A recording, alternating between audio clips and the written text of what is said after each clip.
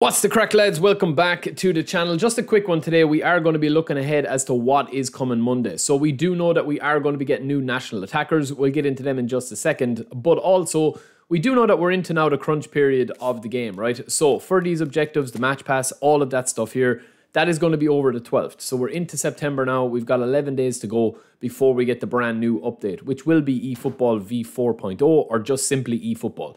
So once that happens, we're probably going to be getting a lot of new stuff and that will tie in with this campaign as well. So you can see here that you've got this campaign ongoing for another 10, 11 days, and that's also going to be tied to the objectives, the match pass, and the eFootball League, right? So on to today's cards. Well, we're going to actually do a video, a separate video on legends yet to be released, right? And why I think they'll be held off till eFootball 25.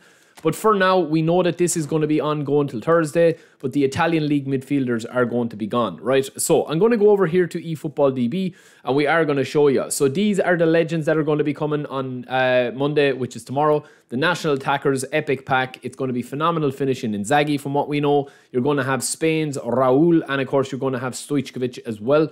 Now these are part of this pack here that you see over on eFootball DB. They're up on the database.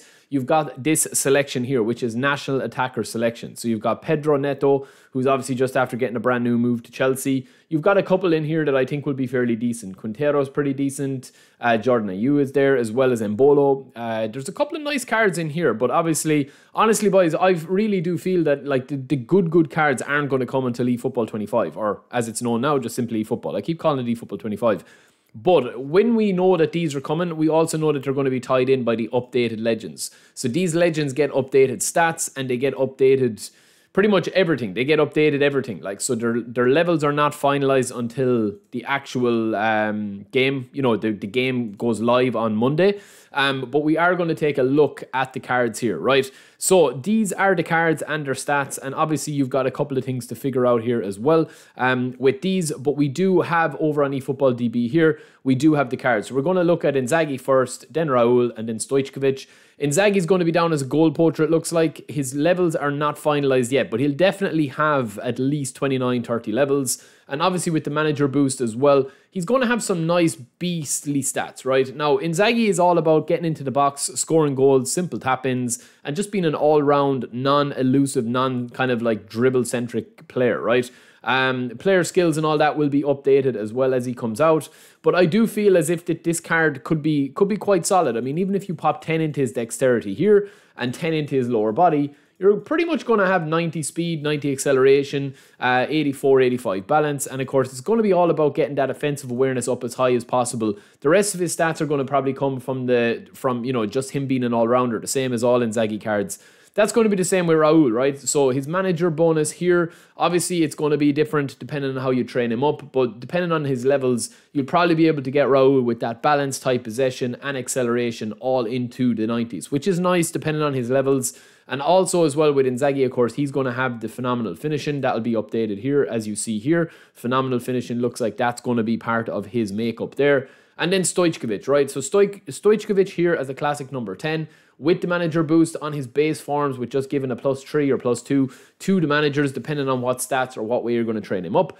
Uh, you will be getting, you know, tight possession and acceleration and speed, all pretty decent. His ball control is pretty decent as well. Now, I will say that Stojkovic has definitely been a card that a lot of people have slept on, the same way with Raul. Raul is definitely a great finisher. I haven't really played with him enough. Um, but I do feel that, that he could be good. And he's got some good player skills as well. You know, double touch, flip flap, sole control. If these are going to be what his card is made up of, it's it's going to be a very decent card. I do still feel, though, that Inzaghi will probably be the pick of him. I loved Inzaghi in my free to play kind of road to glory style um, one. And and shout out as well to Buddy J for this mock up uh, over on Twitter. And of course, as well as that, CTE football as well, um, who's over on Twitter as well. But yeah, I do feel as if that there is a lot of legends yet to be unreleased. And we're going to do a full video on these and why I think that they won't come. As I said, CTE football there with this graphic here. But I do feel with this pack, Inzaghi is going to be the main man. Genuinely. I think he's going to be the main man. The next video that we do is going to be coming up. We're going to be talking about unreleased legends, right? Um, because I do feel that they are going to probably hold off on the unreleased legends and they'll probably bring them, you know, closer to eFootball's new V4.0 update. So let me know what you guys think. I mean, at this stage, man, you know, we are spinning a good bit. Obviously, when you get donations and whatever, um, as a streamer, we do spin, and there is a lot of good players being released. But I just feel that they're going to release way better cards with eFootball. They have to because all of these cards now they're just the market is awash with so many similar cards. You've got like 20 plus hole players, 20 plus running gun center forwards, you know, and different versions of them, like 10 versions of Mbappe are very similar. So I do think that they're going to switch it up a bit. But let me know what you guys think. I'll be back streaming on Monday. Hope to see you in the stream. And we'll talk to you then. Don't forget to subscribe. We're on the road to 50k, baby. Talk to you in a bit. Peace.